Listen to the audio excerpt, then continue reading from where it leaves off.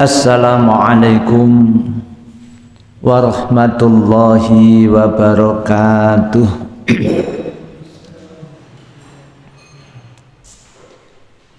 Hamdan wa syukran lillah. Assalatu wassalamu ala rasulillah. Wa ala alihi wa ashabihi wa man tabi'alah La haula wa la quwata illa billah. Usikum wa nafsi bitaqwallahi faqad fazal muttaqun. Amma ba'du hadirin jamaah rahimani wa rahimakumullah. Puji syukur alhamdulillahi rabbil alamin Allah takdirkan kita bertemu dalam rangka ibadah. Mudah-mudahan ibadah kita diterima Allah subhanahu wa ta'ala. Sekaligus Allah berkenan memberikan ampunan atas dosa-dosa kita. Dan mudah-mudahan Allah melindungi kita yang semakin dekat dengan kiamat ujian cobaan rintangan untuk melaksanakan agama Allah yang murni ini kita rasa semakin berat Mudah-mudahan Allah memberikan pertolongan kepada kita. Dan kita minta tolong kepada Allah itu namanya istighosah. Termasuk sirik istighosah atau doa kepada selain Allah. Dia jadi keadaan sulit dan semakin sulit kita tetap beristighosah kepada Allah. Jangan sampai kita istighosah kepada yang selain Allah. Sekalipun istighosah kepada hamba Allah yang paling solih yang paling baik paling dicintai Allah yang namanya Muhammad Rasulullah Sallallahu Alaihi Wasallam di dalam bab istighosah halaman 50 yang paling bawah ada sebuah hadis innahu la yustaghothu bi wa innama yustaghothu billah sesungguhnya tidak boleh istighosah kepadaku dia saat itu para sahabat itu mendapat tekanan teror bahkan sampai penyiksaan dari orang-orang munafik Terus sahabat itu rundingan sak konco, ayo istighosah nang Nabi, mudah-mudahan kita dihindarkan dari bentuk penganiayaan orang-orang munafik. Ternyata sama Nabi dikatakannya innahu la yustaghosu tidak diperbolehkan istighosah kepadaku. Ayo istighosah kepada Nabi saja tidak boleh. Apalagi istighosah nang kiai. Ya lebih tidak boleh ya. hukumnya sama-sama syirik. Apalagi istighosah nang dukun istighosah nang goning danyang diyakini sing bau reksa. Sing bau reksa itu Allah itu loh bukan danyan. Maka Rasul sabdakan innahu la yustaghosu wa innama yustaghosu billah dan sesungguhnya istighosah itu hanya boleh minta pertolongan hanya kepada Allah tidak kepada yang selain Allah. Biarpun kepada orang yang paling solih sedunia yakni Muhammad Rasulullah itu tetap kita tidak boleh ya. Monggo dibaca kandungan bab ini halaman 51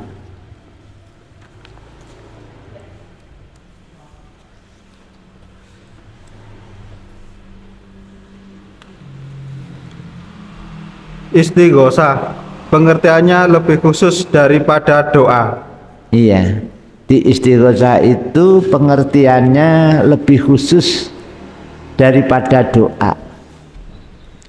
Di biasanya istighosah ini ada sesuatu yang datang kemudian dirasa oleh kita umat Islam berat maka di situ dianjurkan untuk istighosah kepada Allah ya terus aturan istighosah seperti apa? Ya sesuai yang ditetapkan Allah. Jadi gak gawe coro dewi-dewi enggak? Itu istighosah. Jadi istighosah itu pengertiannya lebih khusus daripada doa. Biasanya istilahnya istighosa itu minta kepada Allah karena keadaannya sudah sangat mendesak mungkin disebut sangat genting sangat kritis. Itu istighosa dua. Tafsir ayat pertama. Tafsir ayat pertama itu bunyinya wala tad'u min dunillah lan ojo ndonga. Saking sakliyaning Allah malayan fauka tidak akan memberikan manfaat kepadamu wala yaduruka.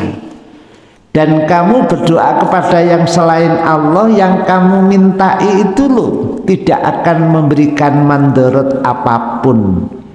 Fa in fa'alta fa innaka idza minadzalimin. Maka jika kamu melakukan itu yakni berdoa kepada yang selain Allah, maka sesungguhnya kamu termasuk orang-orang musyrik, termasuk orang-orang zalim. Monggo. Tafsirnya itu 43 ayat pertama Ayat pertama menunjukkan bahwa dilarang memohon kepada selain Allah karena selainnya tidak dapat memberikan manfaat dan tidak pula dapat mendatangkan bahaya kepada seseorang. Kayak itu ya. Tidak pula dapat mendatangkan bahaya kepada seseorang. Nanti ya sia-sia ya Nak terima sia-sia ngono ya kaya eh gak seberapa. Tapi sudah masuk kategori musyrik terperosok dalam perbuatan dosa akbar. Akbar itu terbesar. Nauzubillahi min dalik. Itu tafsir ayat yang pertama di dalam bab istighosah. Kandungan tiga Memohon kepada selain Allah adalah syirik akbar. Nah, itu ya. Memohon kepada Allah kata lain istighosah kepada Allah kemudian minta syafaat kepada yang selain Allah. Biasanya kan ono kalimah derek monggo mumpung meniko ulan suro kita nyuwun syafaat datang Nabi Muhammad dengan membaca sholawat. Nah ini baca sholawatnya bagus tapi meminta syafaat kepada Rasulullah Muhammad itu syirik akbar. Gimana? Biasanya pembawa acara lah ngona monggo derek. Kita minta syafaat. Syafaat pertolongan kepada Rasulullah Muhammad. Ini syirik akbar ya, dosa terbesar ya. Syirik akbar ini ya atau isti'adah isti'adah itu berlindung. Ya kayak itu kasum merapono beli menikah sekul suci ulam sari kagem caos dahar. Ringkang bau rekso sing bau rekso itu Allah bukan danyang. Danyang pun yang bau rekso adalah Allah. Itu syirik akbar tidak boleh. Isti'adah terus isti'anah. Isti'adah itu minta perlindungan. Isti'anah itu minta pertolongan. Mirip dengan istighosah. Itu juga minta pertolongan kepada Allah. Cuman istighosah itu lebih khusus. Jadi memohon kepada Allah ada satu masalah yang sangat mendesak sangat mengkhawatirkan keadaannya sudah sangat kritis. Itu namanya istighosah. Di semuanya itu harus dialamatkan kepada Allah. Tidak boleh kepada yang selain Allah kepada Nabi sekalipun hamba terbaik di dunia manusia terbaik di seluruh dunia ya Rasulullah Muhammad itu saja Rasulullah langsung tegaskan innahu la yustaghosu tidak diperbolehkan istighosah kepadaku kata Nabi. Innama yustaghosu billah maka sesungguhnya istighosah itu hanya boleh kepada Allah saja. Lanjut. Empat bahwa orang yang paling soleh sekalipun kalau dia melakukan perbuatan ini untuk mengambil hati orang lain maka ia termasuk golongan orang yang dolim atau musyrikin. Itu ya nggak boleh. Ya ngomong masalah mohon perlindungan atau istighosah itu bukan kepada makam-makam pepunden makam-makam danyang bukan bukan kepada wali songo bukan tapi harus kepada Allah ayatnya itu tadi hadisnya innahu la yustaghosu wa innama yustaghosu billah Sungguh istighosah itu tidak boleh minta pertolongan kepadaku, minta pertolongan hanya boleh kepada Allah. Itu ya. Itu namanya istighosah. Lanjut. Tafsir ayat kedua. Ayat kedua itu bunyinya wa iyam sak wa iyam saskallahu bidurin fala kashifalah illahu. Wa iyuridka bi khairin fala radda li yusibu bihi may yasha'u min ibadih wa huwal ghafurur rahim jika Allah menimpakan sesuatu kemundorotan kepadamu maka tidak ada yang dapat menghilangkannya kecuali Allah sendiri. Dan jika Allah menghendaki kebaikan bagi kamu maka tak ada yang dapat menolak karunianya dia memberikan kebaikan itu kepada siapa yang dikehendakinya di antara hamba-hambanya. Dan dialah yang maha pengampun lagi maha penyayang. Surah Yunus ayat 107 tadi sama surah Yunus ayat 106 monggo tafsir 107 Ayat kedua menunjukkan bahwa Allah lah yang berhak dengan segala ibadah yang dilakukan manusia seperti doa, istighosah dan sebagainya. Karena hanya Allah yang maha kuasa jika dia menimpakan sesuatu bahaya kepada seseorang maka tiada yang dapat menghilangkannya selain dia sendiri dan jika mengendaki untuk seseorang suatu kebaikan maka tiada yang dapat menolak karunia-Nya. Tiada seorang pun yang mampu menghalangi kehendak Allah. Jadi makanya sungguh perbuatan sangat sangat dolim sangat-sangat fatal. Akibatnya jika beristighosah kepada yang selain Allah. Mengapa? karena jika Allah menghendaki memberikan kebaikan memberikan kekayaan kepada siapa pun yang dikehendaki tidak ada satupun yang bisa menghalang-halanginya. Makanya ya di kita masih banyak sekali istilah dukun. Sehingga di kita kalau ada warung laris itu kadang-kadang jadi takok nih ikut dukune wong dia.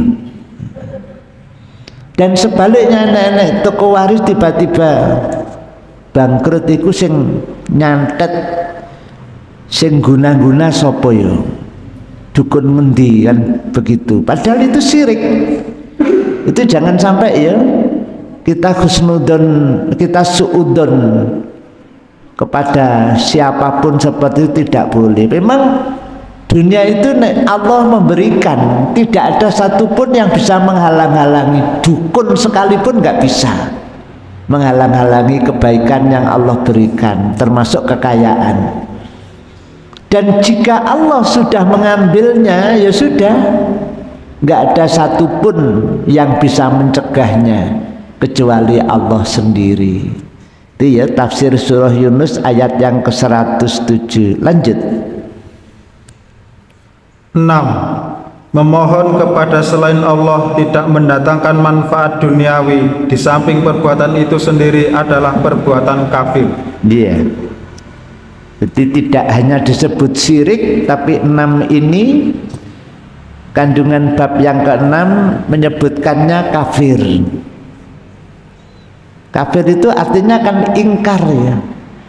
Perintahnya berdoa memohon itu kepada Allah tapi diingkari malah memohon kepada yang selain Allah.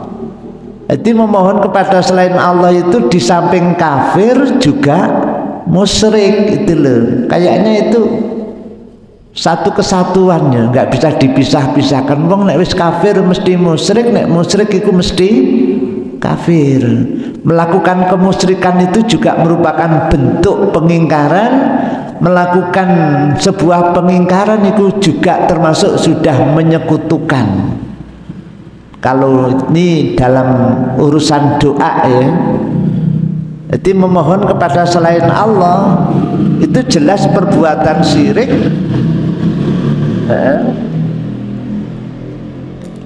Dan itu tidak akan mendatangkan manfaat duniawi di samping perbuatan itu sendiri adalah perbuatan kafir.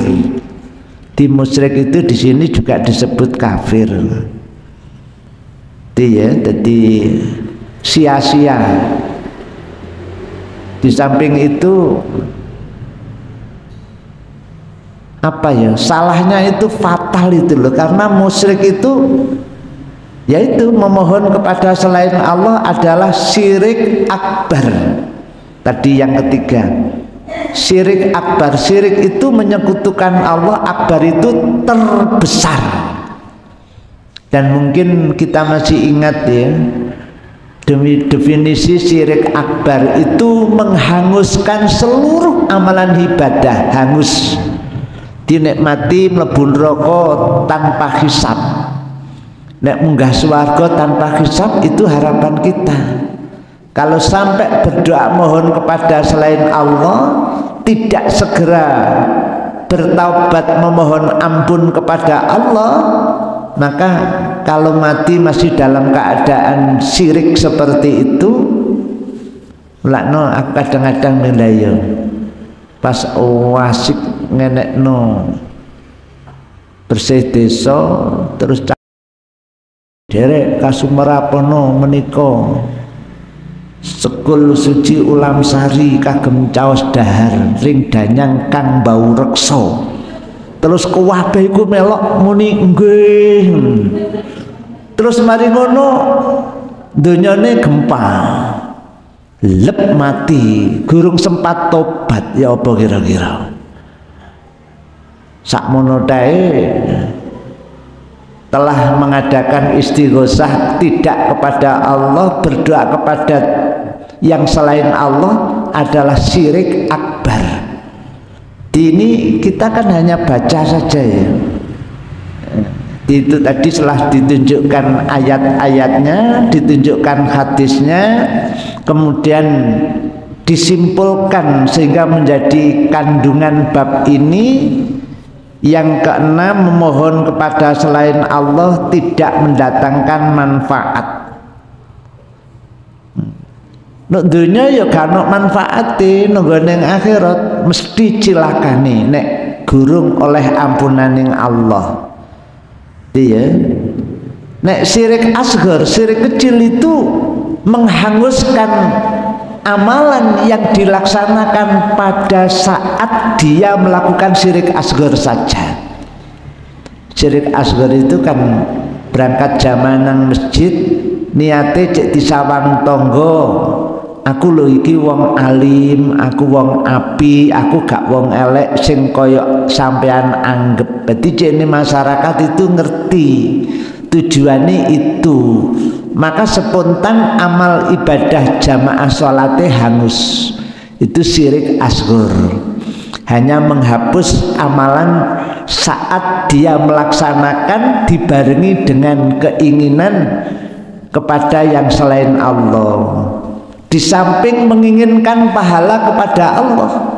Pahalanya sholat. Sebelum sholat wudhu ganti pakaian baca doa. Terus masuk masjid mendahulukan tangan kanan sengaja untuk melaksanakan sunnah Rasul membaca doa Allahumma ftahli abwa rahmatik. Tapi nungguin jero hati kecampuran cek oleh pangalembono tonggo teparo nek dek iku wong apik. Dile cek dianggap wong apik lah. Itu namanya syirik asghar. Maka perjalanan ke masjid sholat jamaah tadi hangus beda dengan syirik berdoa memohon kepada yang selain Allah seperti ini. Ini fatal. Makanya disebut dengan syirik akbar. Jadi semua amalan ibadahnya ini hangus terbakar. Nek gandang tobat ya masuk neraka tanpa hisab. Naudzubillahi min dalik. Lanjut Tujuh Tafsir ayat ketiga. Ayat yang ketiga itu bunyinya Innalladzina ta'buduna min dunillahi la yamlikuna lakum rizqo Fabtahu indallahi rizqo Wa'buduhu waskurulah ilaihi turja'un. Sesungguhnya yang kamu sembah selain Allah itu tidak mampu memberikan rezeki kepadamu maka mintalah rezeki itu di sisi Allah. Dan sembahlah dia dan bersyukurlah kepadanya. Hanya kepadanya lah kamu akan dikembalikan. Tafsirnya monggo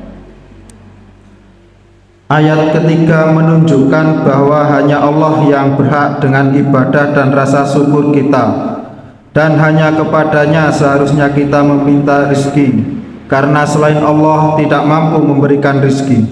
Kadang-kadang kan ada orang datang nanggone mbah dukun minta pesugihan. Terus kadang-kadang dikei tuyul dikasih babi ngepet atau dijadikan babi ngepet. Terus apa mana yes, itu jelas-jelas musyrik. Karena dukunnya itu jelas berdoa mintanya kepada iblis kepada setan kepada jin kafir. Jelas sudah. Dia itu menganggap iblis sebagai Tuhannya. Dia definisi dukun saat ini saya memahaminya yaitu ya sapa segelem udu ya dirukun. Pokoknya gelem bayar ya. Dibantu melakno jenenging dukun. Segelem udu dirukun. Sebetulnya dukun itu bahasa mulia loh dulu dukun itu duduk tekun ibadah kepada Allah berzikir kepada Allah beristighosah kepada asalnya dukun itu duduk tekun. Bahasa Arabnya asalnya dukun jadilah orang yang dekat kepada Allah dan istiqomah. Asalnya kan gitu. Tapi ternyata akhir-akhir dukun itu didominasi orang-orang yang menjadi penyembah iblis, penyembah setan. Melakno jenengi dukun itu rituale ibadahe golek wit gede sing akeh demite. Nang kuburan sing angker sing akeh setane. Itu kan ya, itu digawa menyan, dupo, terus kembang.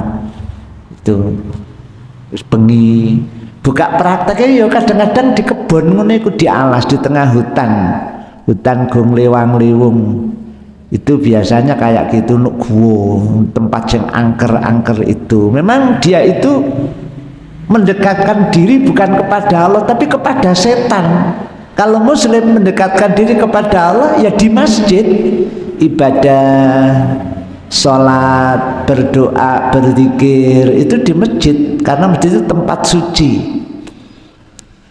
Sholat itu ya di masjid.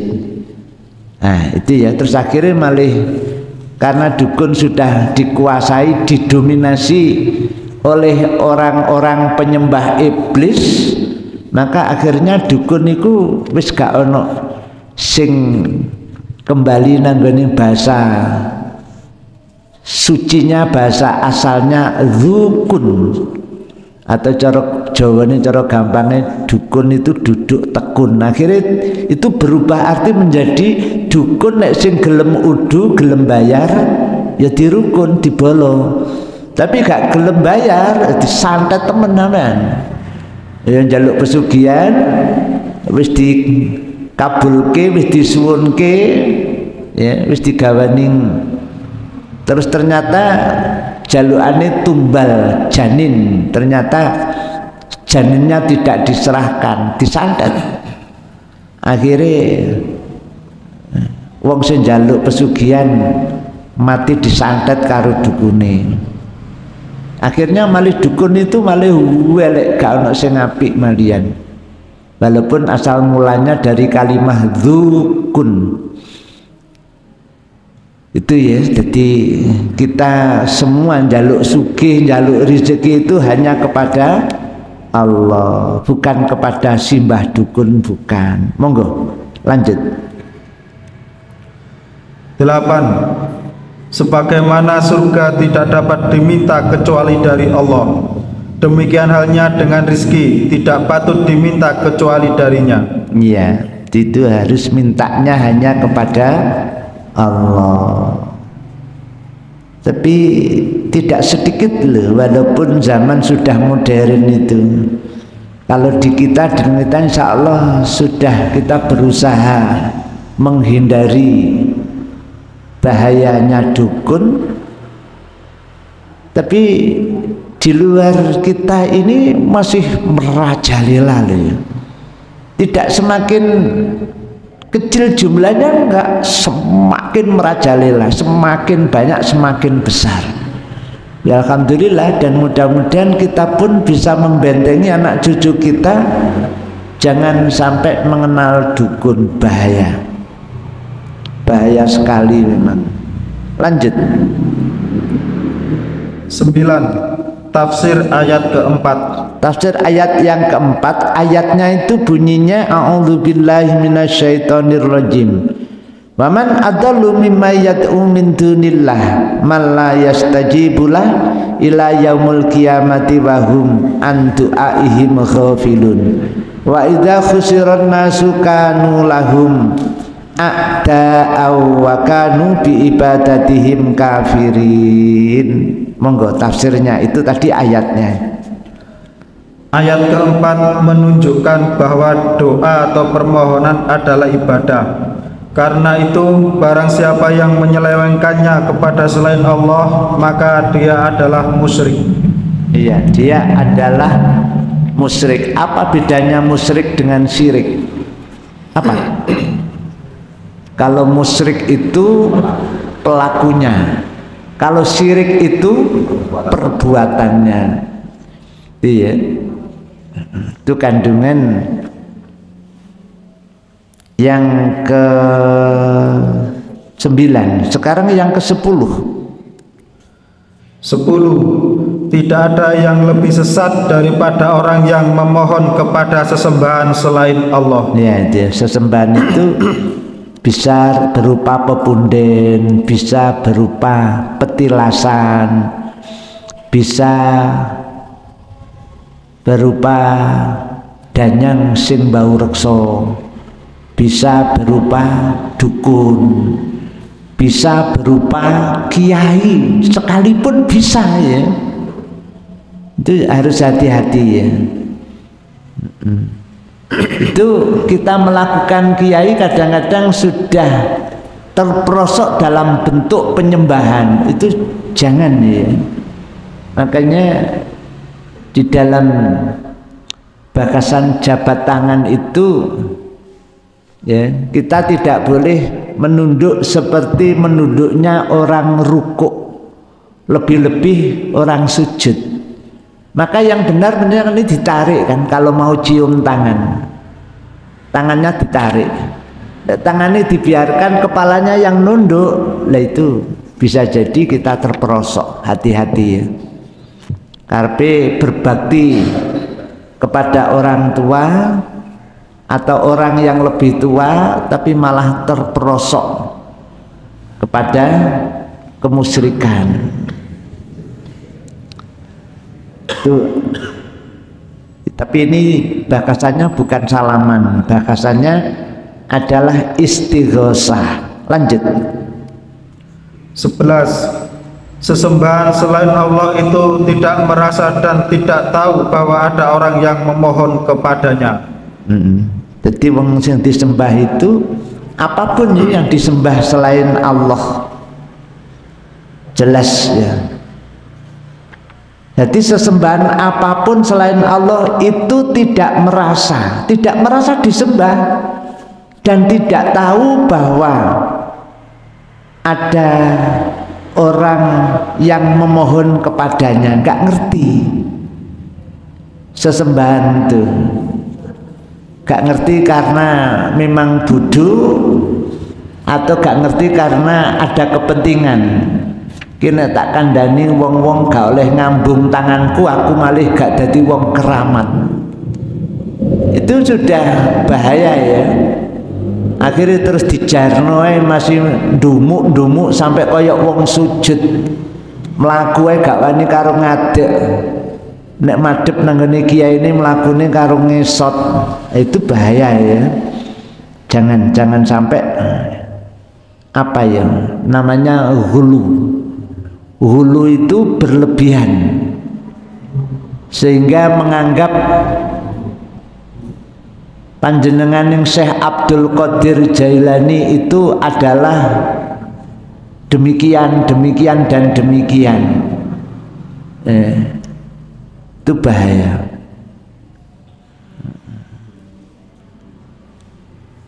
Lanjut. Sebelas. Dua belas. Permohonan itulah yang menyebabkan sesembahan selain Allah membenci dan memusuhi orang yang memohon kepadanya dalam kurung pada hari kiamat. Kayak gitu ya.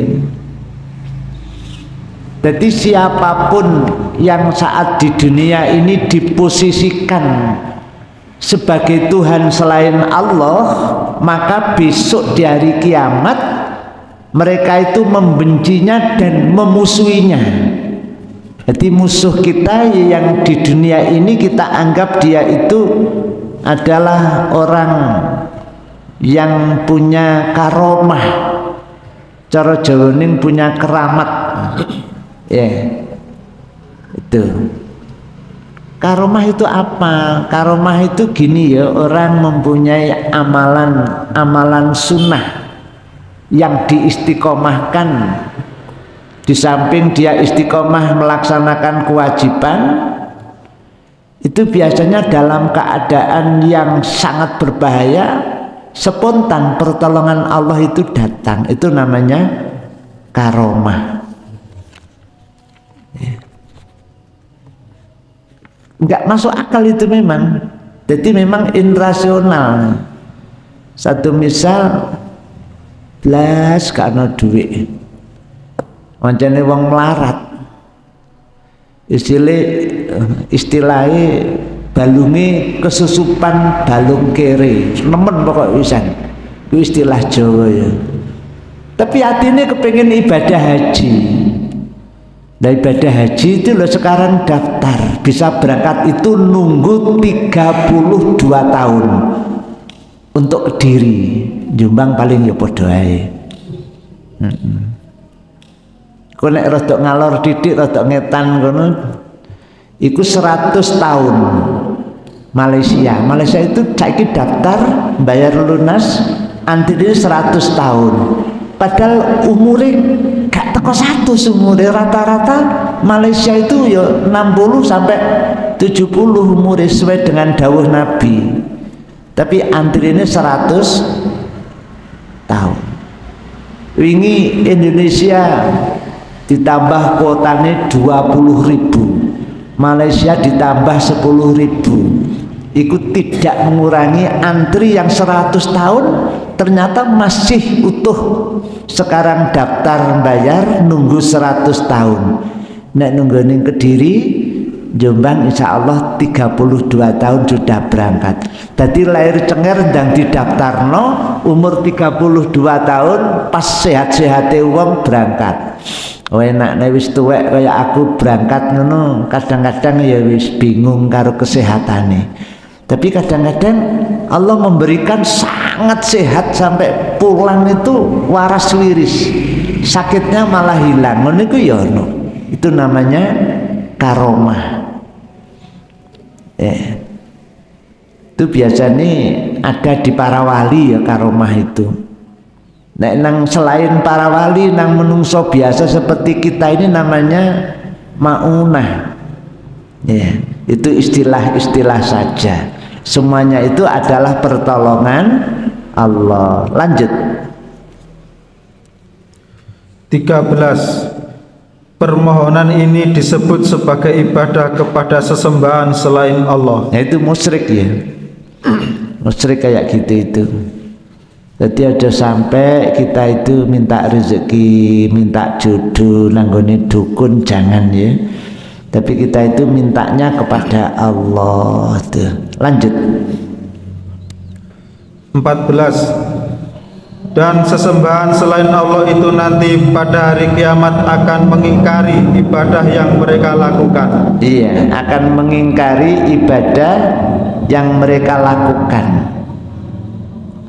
Di siapa pun ya yang diibadahi besok di akhirat itu mengingkari. Mengapa? Ya karena nggak layak sama sekali itu lanjut. 15 permohonan inilah yang menyebabkannya menjadi orang paling sesat.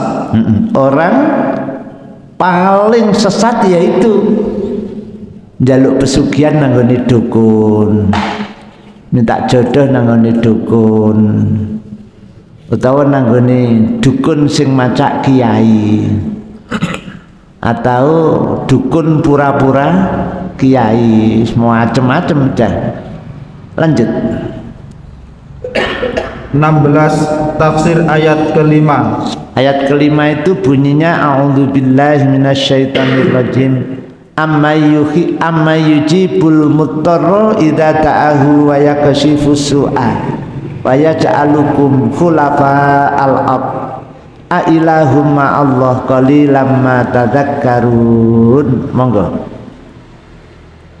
Ayat kelima menunjukkan bahwa istighosah kepada selain Allah karena tiada yang kuasa kecuali dia adalah batil dan termasuk syirik. Iya kayak gitu ya adalah batil dan termasuk syirik gitu ya perbuatan kayak itu jangan sampai terjadi pada kita dan kita ajarkan kepada anak cucu kita jangan sampai anak cucu kita terjerumus ke lembah kesesatan.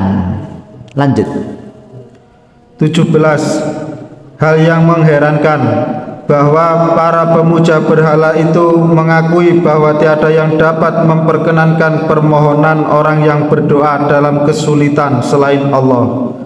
Untuk itu, ketika mereka berada dalam keadaan sulit dan terjepit, mereka memohon kepadanya dengan ikhlas dan memurnikan ketaatan untuknya. Kayak gitu ya. Jadi penyembah-penyembah berhala itu mengakui ya sebenarnya di dalam hatinya yang mampu mengabulkan doa itu hanya Allah dan orang-orang kafir orang musyrik itu saat kepepet itu mintanya tidak kepada berhala sadar kalau berhala itu tidak mampu untuk mengabulkan. Dukun tidak mampu mengabulkan. Maka dia memurnikan ibadahnya hanya kepada Allah. Itu orang kafir sendiri. Ya kita alhamdulillah tidak mempunyai keyakinan seperti itu. Tapi namanya musyrik ya musyrik. Lanjut. Terakhir.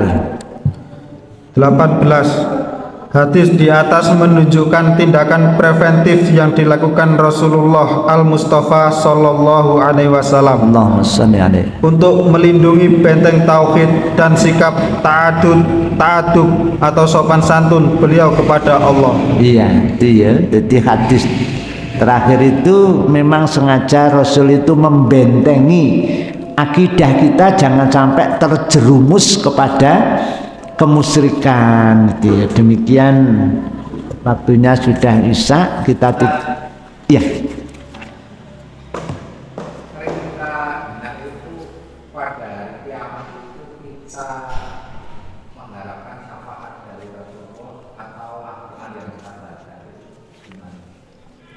Ya jelaskan ya. Jadi di akhirat itu nanti ada bentuk banyak syafaat di antaranya syafaat Allah dilewatkan kepada Muhammad untuk kita sebagai umatnya. Tetap syafaat itu mintanya kepada Allah. Terserah Allah. Allah berikan kepada kita melalui Muhammad melalui orang tua kita yang solih orang tua kita yang taat kepada Allah orang tua kita yang alim atau anak kita yang hafal Al-Quran. Atau bacaan Quran kita karena Rasul sabdakan jelas ya Rasul sabdakan ikra'u Qur'ana podo maca Qur'an nira kabeh.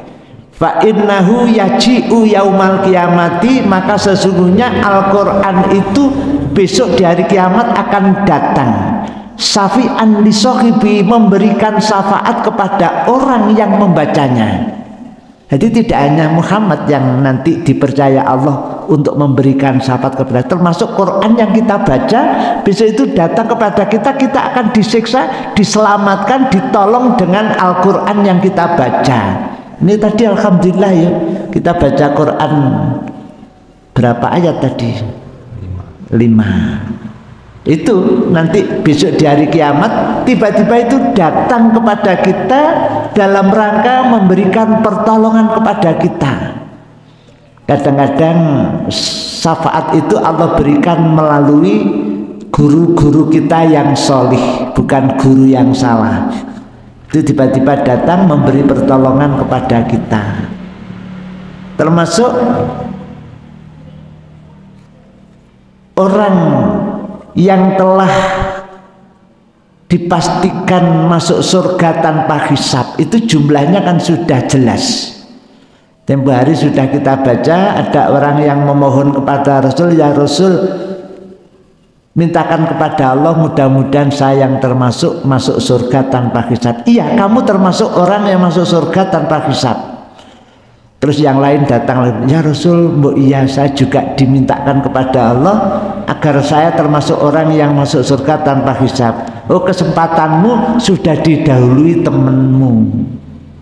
ya udah tapi setiap seorang ini mampu memberikan syafaat sekian puluh ribu yang lain loh jadi tidak tidak orang itu yang tapi Allah lah yang memberikan syafaat melalui apa pun dan siapa pun yang dikehendaki oleh Allah. Dimintanya syafaat tetap kepada Allah, bukan kepada Muhammad bukan.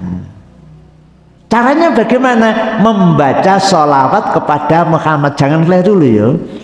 Nek membaca sholawat kepada Rasulullah Muhammad itu maksudnya memintakan rahmat dan salam kepada Allah agar Allah anugerahkan, Allah limpahkan kepada Rasulullah Muhammad. Kalau kita bersolawat kepada Nabi satu kali, maka Allah akan membalas solawat kita sepuluh kali. Ya. Kalau kamu sudah membaca solawat, maka besok kamu akan mendapatkan syafaat dari Rasulullah Muhammad yang telah mendapat izin rekomendasi dari Allah Subhanahu wa taala. Terus pundi? Terus pundi? Dimintanya tetap kepada Allah. Kalau kepada yang selain Allah musyrik. Siriknya sirik besar. Tapi selama ini rata-rata kebanyakan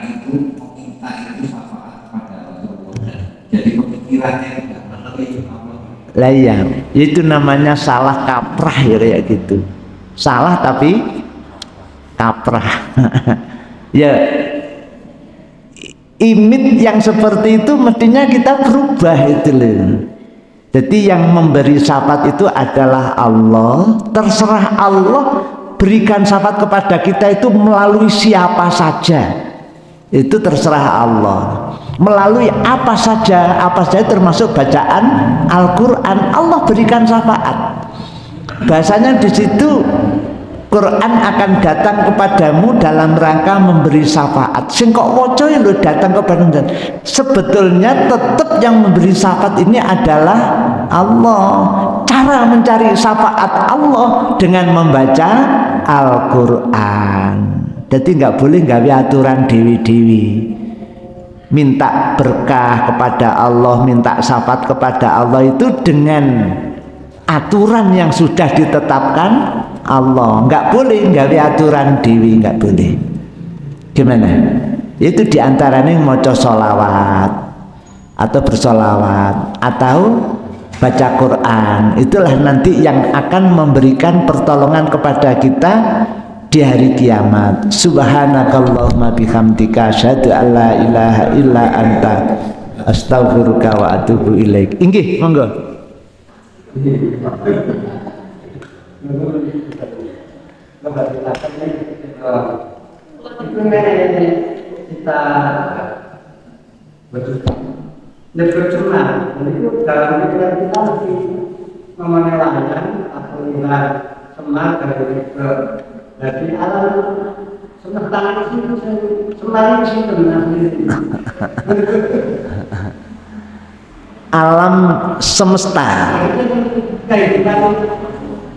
alam dunia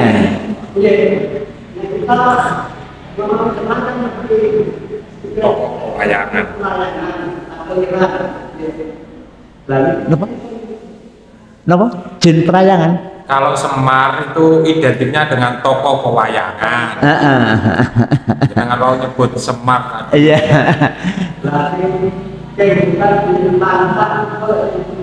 Iya. Sepakir.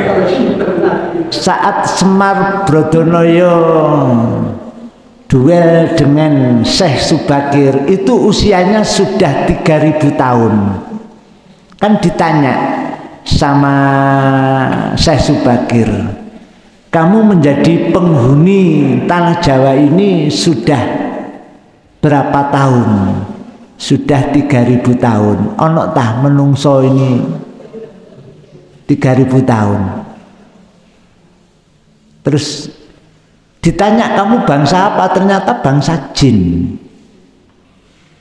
Ya dengan lihat debatnya Ki Brodonoyo Semar Brodonoyo dengan Syekh Subakir saat duel selama tiga hari tiga malam.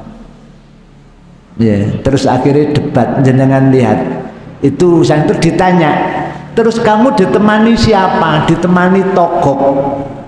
Togok yang menemani Semar Brodonoyo ya. Yang ditanyakan ini apanya tadi?